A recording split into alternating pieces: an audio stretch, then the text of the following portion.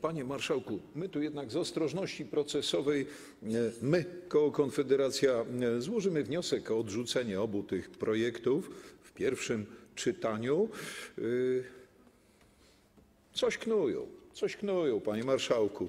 Rok do wyborów i nagle zabrali się za remontowanie tego systemu. No ja jestem pierwszy do remontowania, kiedy w 14 roku byłem inicjatorem takiej, powiedzmy, kontroli, spontanicznej kontroli obywatelskiej w siedzibie Państwowej Komisji Wyborczej, to przecież właśnie ta myśl mi przyświecała, żeby, położyć kres chachmęceniu. Wtedy, nikomu nie wytykając, panie marszałku, PSL się akurat obłowił niesłychanie w tych wyborach. Na Śląsku 100 tysięcy głosów się, zdaje się, zgubiło, czy nieważnych było, już nie pomnę. Do dziś sprawa niewyjaśniona. Ministerstwo Sprawiedliwości jakoś nie dąży do wyjaśnienia, wyświetlenia tej sprawy, ani minister koordynator.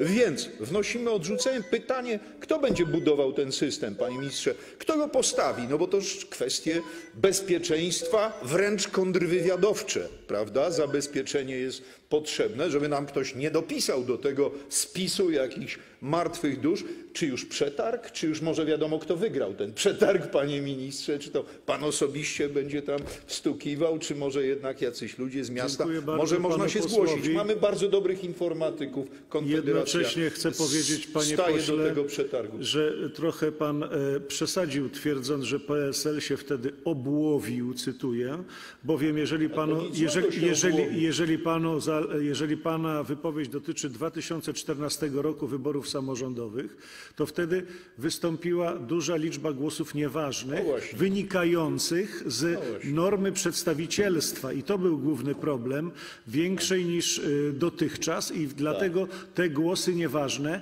w dużej mierze, w 75% były pustymi kartkami. I zgodzi się pan poseł, bo przecież y, często pana wypowiedzi są y, w dużym stopniu logiczne, że trudno sfałszować pustą kartkę.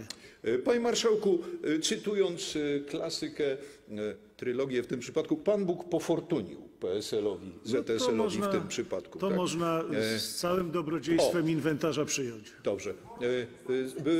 Jeszcze taki tutaj przypis, dlaczego nie chcemy, żeby te projekty teraz były procedowane. Podwójne obywatelstwo, o tym dyskutujmy. Mnie się zdaje, że rozmywane jest tak bardzo dziś pojęcie obywatelstwa przysługujących z tego tytułu praw, Dziękuję obowiązków. Różnica między obywatelstwem a, a rezydowaniem, a byciem przybyszem, Dziękuję bardzo gościem. panu posłowi. Więc nie rozmywajmy dalej tych konturów w prawie wyborczym. Dziękuję. Dziękuję bardzo.